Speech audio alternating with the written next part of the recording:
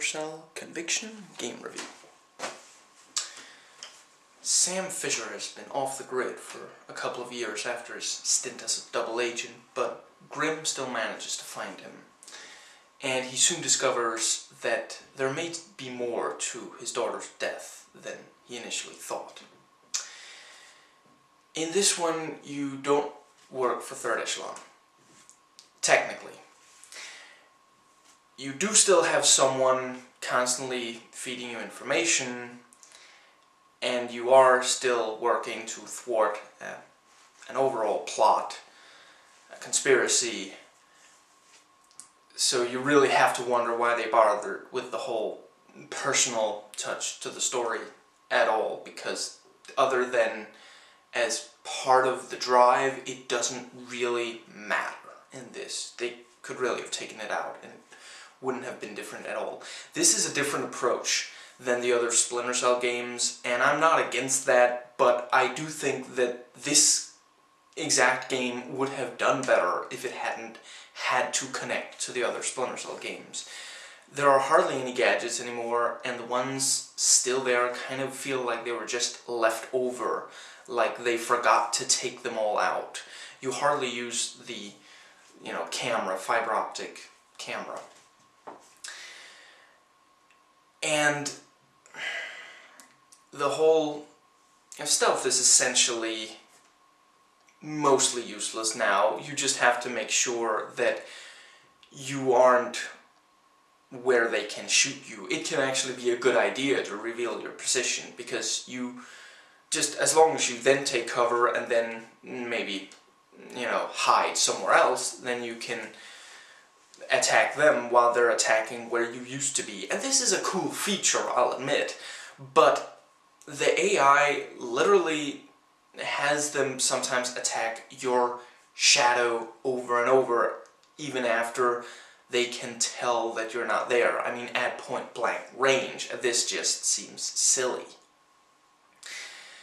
This is evidently inspired by such things as the Bourne trilogy and other recent you know, very intense, unaffiliated agents and such. And that's a good idea, and I wish they'd taken it further. But again, this is really just kind of the same thing. Only the story is considerably more see-through and flat. You're to be able to tell the twists from couple of hours in.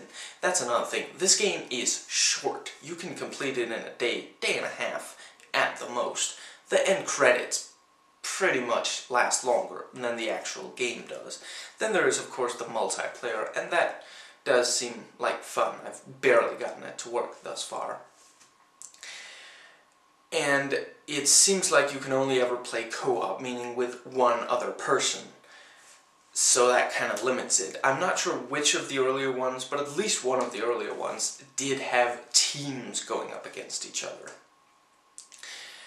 So the basic gameplay is you, you know, fighting cover to cover, and they do have a good cover system. Basically, you can take cover behind anything that is big enough. You do so by holding right click, and you can move from cover to cover by indicating with the mouse, with the cursor, where you want to take cover next, and then just pressing space. And Sam will rush there, making himself as small a target in the process as possible. And you can obviously not move very far like this.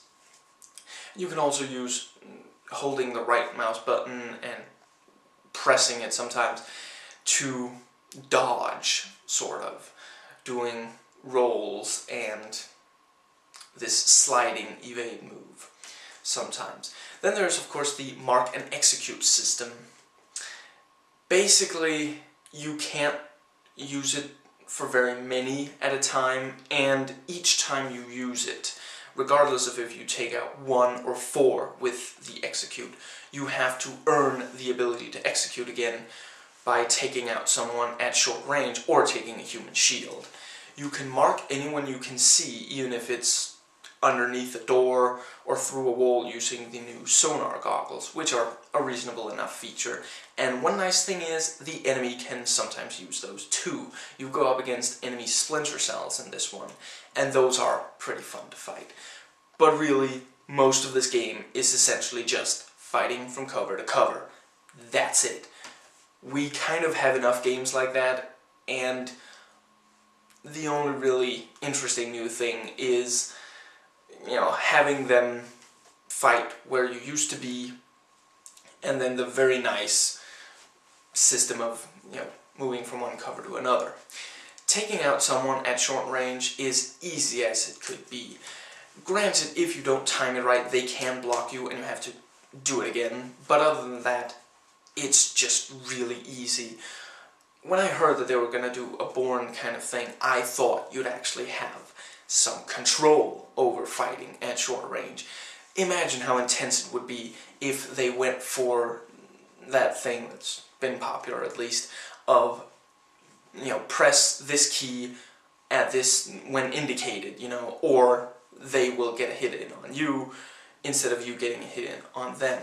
I get it. That's been done a lot. I get that they were trying to do something new, but in trying to do something new, they went completely away from what gameplay is, almost. The game is painfully streamlined, and it takes away most of the risk, and you hardly feel like you're in control of Sam. You're pretty much just directing him.